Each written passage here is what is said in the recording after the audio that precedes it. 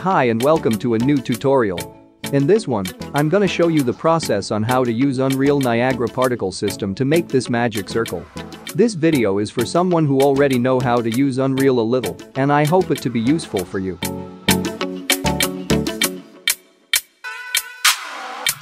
Let's start by create the material we gonna need for the magic circle by right-clicking in the folder and choose materials. Let's open it and change the material blend mode to translucent and the shading model to unlit.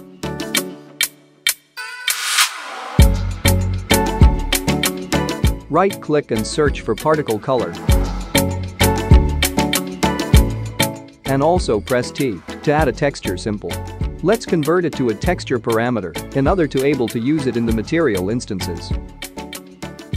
After that, let add some multiply node and also put the texture that I made by using Krita.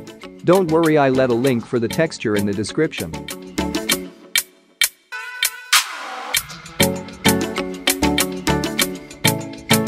Now the only thing that left, it's to connect them like this.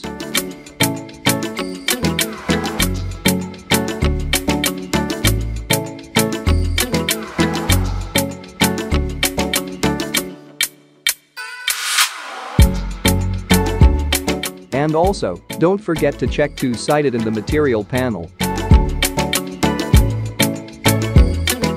And create two materials instances from the master material like this. And add the textures we gonna use.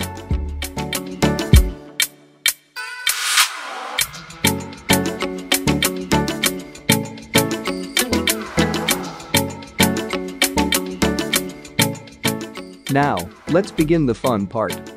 Let's right-click in the VFX folder, go to the FX categories, and choose Niagara System. Live it in the first option and click Next.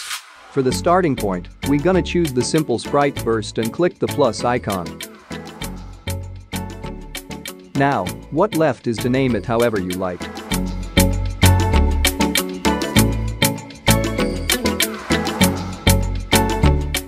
After open the system, it should look like this. Now click on the sprite renderer and change the material to the one we just made.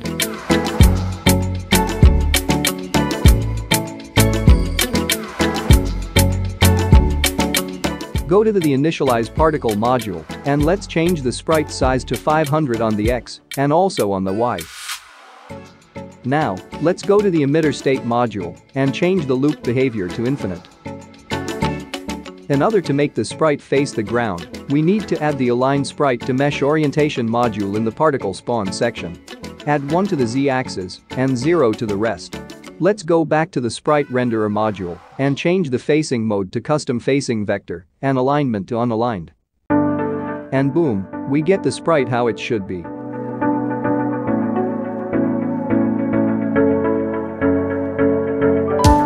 For now, let's delete the scale color module because we don't need it. And give the sprite a bright color like this in the initialize module.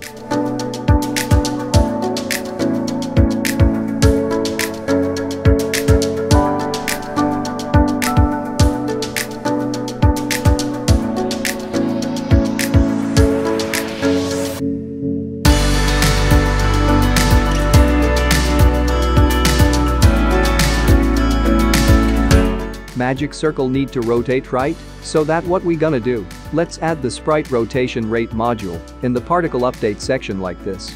If this give an error, just click fix it and things should work.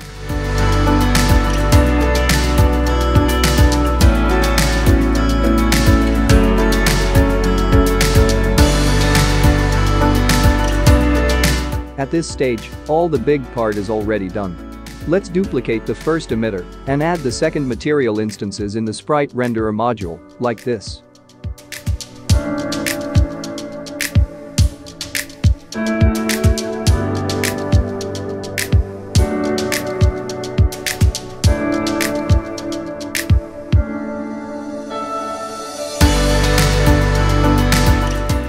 This one need to rotate and invert to make things look more interesting that's looked better.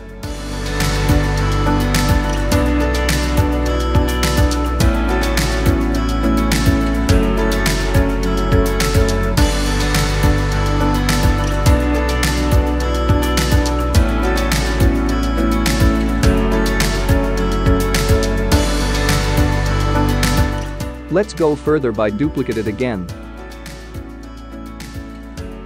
And also change the size and the rotation too.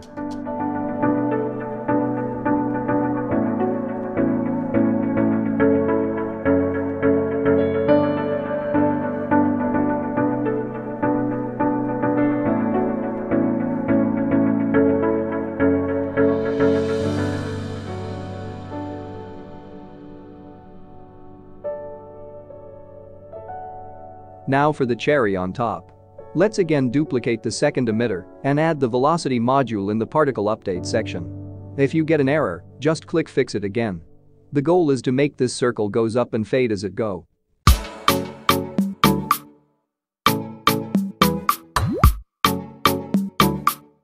That's why we gonna need the scale color module. In the scale alpha, let's convert it to a curve like this and tweak it a little bit.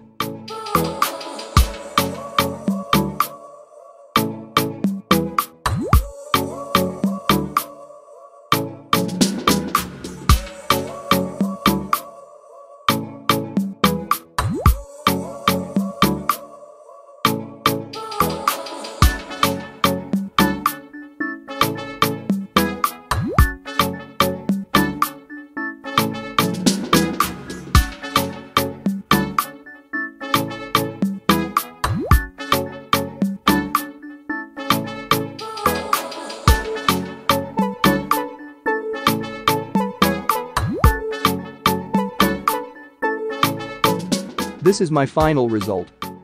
I just changed the color a little and also add a custom color parameter in the system to let me change it when I want. I hope this was useful for you and don't forget to like and subscribe to help the channel grow. Peace.